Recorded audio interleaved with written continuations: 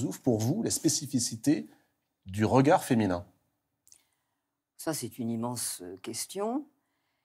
Aujourd'hui, on aurait tendance euh, à dire il n'y a pas de spécificité du regard féminin, parce que si on développe euh, cette idée, on renvoie les femmes à un certain ghetto, on les décrit comme plus, plus gentilles, plus chaleureuses, plus occupées d'autrui. Et de cette description favorable des femmes, on glisse assez volontiers à l'enfermement. Et à l'enfermement dans certaines tâches, dans la domesticité, dans la maternité, dans, dans le soin aux vieilles personnes, enfin que sais-je. Mmh. Donc, euh, pré- préciser le regard féminin est très souvent un piège.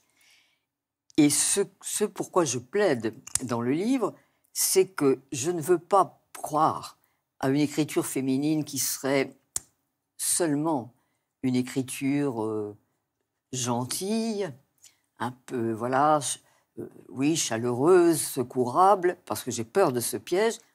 En même temps, je pense qu'il y a quelque chose de spécifique dans l'écriture féminine. Mais alors, qu'est-ce qui serait spécifique? Est-ce que cette écriture féminine suffirait à définir la particularité euh, d'un regard féminin? Oh, elle, di- elle dirait quand même beaucoup d'un regard féminin parce que j'ai envie de dire que les hommes sont plus volontiers du côté de la chimère ou de la magie ou de l'utopie. Les hommes croient volontiers à la possibilité d'une société entièrement régénérée et d'un homme nouveau. Et les hommes sont prêts souvent à s'engager euh, joyeusement sur les sentiers de, de l'utopie ou de l'icarie. Ils inventent un monde. Les femmes sont beaucoup plus du côté du concret. Et je crois que pour les femmes, l'idée d'un homme entièrement nouveau Mhm. ou d'une société entièrement neuve est contradictoire de la manière dont elles vivent.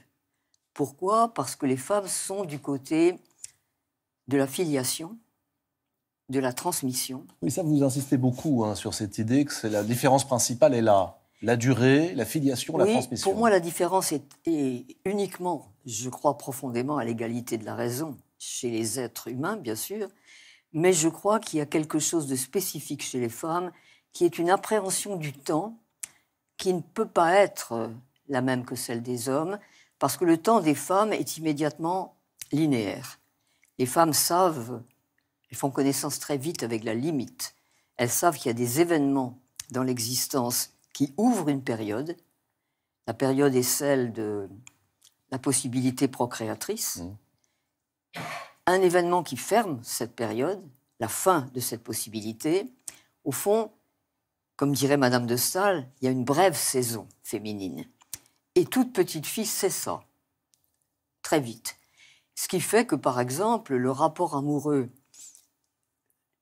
chez les jeunes gens, et particulièrement dans ma génération, était vécu, et c'était affreux, dans une euh, irresponsabilité de la part des garçons et dans la peur de la part des filles.